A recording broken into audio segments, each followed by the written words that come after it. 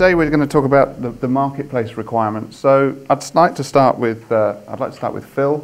Um, if you could tell us what your view is on the current marketplace. Sure. I mean, the, the first thing that uh, that CIOs uh, tell us when we go out and talk to them is that um, first they've been told by their uh, CFOs and CEOs to, to slash the budget, and that, that's pretty well universal. Um, you know, cost cuts of 10 to 20% are fairly normal. and some of them are doing the same to staff.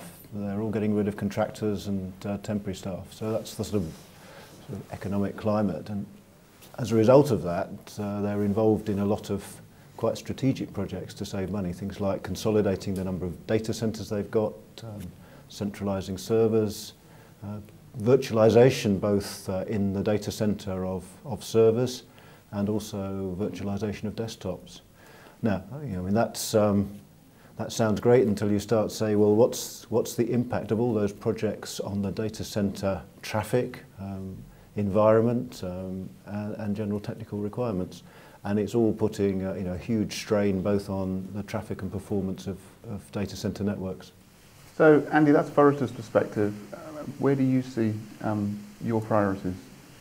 Our priorities are somewhat similar, but there's an extra challenge added in.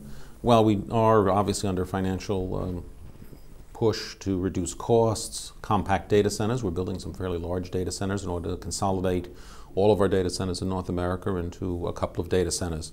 That's a challenge on and of itself to build a new data center while reducing costs, while moderating the staff, keeping it flat, but the business itself continues to grow.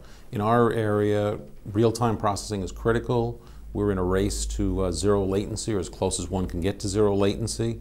That drives the business and the cost of technology up. So we have to balance the need to get to zero latency, the need to handle continually growing volumes and trading activity while meeting the business demands of reducing cost. Quite the challenges.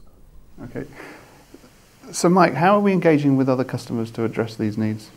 So one of the things we're finding is that um, cost of ownership is a big sensitivity that customers have today. Uh, in some cases, it's a, a big focus around capex. Uh, in some cases, it's big focus on opex, and sometimes it's a combination of thereof. Depends on how people are modeling their business and, and how they structure their finances. Um, one of the other things we're finding is that having choice and flexibility is becoming very key because as they're making very uh, strategic decisions about how does technology align to their business needs, they want to have the freedom of being able to use exactly what's right to meet those business needs and to spend that money prudently.